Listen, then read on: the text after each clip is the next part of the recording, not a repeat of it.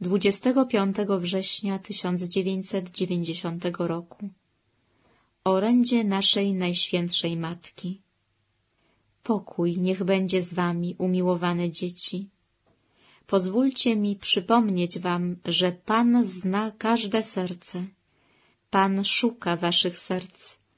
Przyjdźcie do Niego z czystym sercem, a On was pouczy. Pan pokrzepi wasze dusze, poprowadzi was swoją drogą w prawdzie. Błagam was, którzy jeszcze się wahacie, nie zamykajcie serc na to przekonywanie, powróćcie do Pana, a On powróci do was. Radość zstępuje właśnie pomiędzy was z nieba. Światłość zabłyśnie pośrodku was.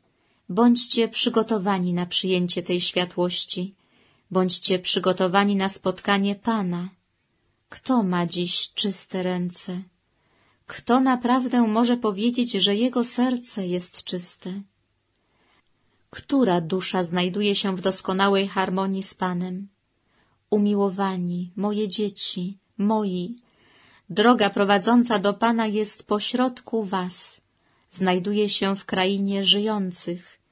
Wznieście zatem wasze ręce ku Jego świątyni, a Pan pochyli się nad wami z niebios, aby was przyciągnąć do siebie. Wyciągnijcie ku Niemu swoje ręce, a On, pełen współczucia, pochyli się nad wami.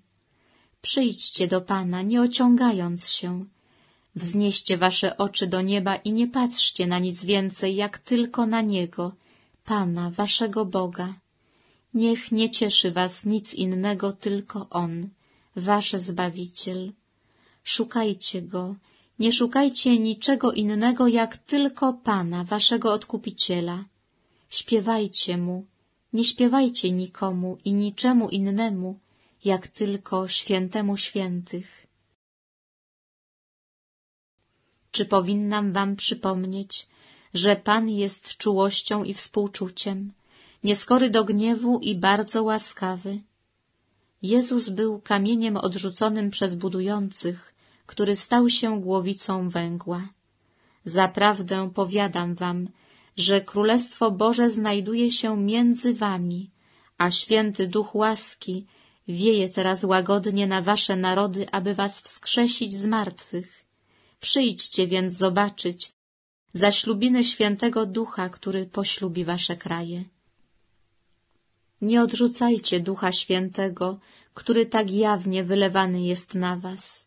Nie bądźcie jak budowniczowie odrzucający kamień, który stał się kamieniem węgielnym. Bóg pragnie, by każdy był zbawiony. Dlatego wypowiadam teraz moją uroczystą przestrogę wobec wszystkich, słyszących proroctwa tej księgi. Nie gaście ducha.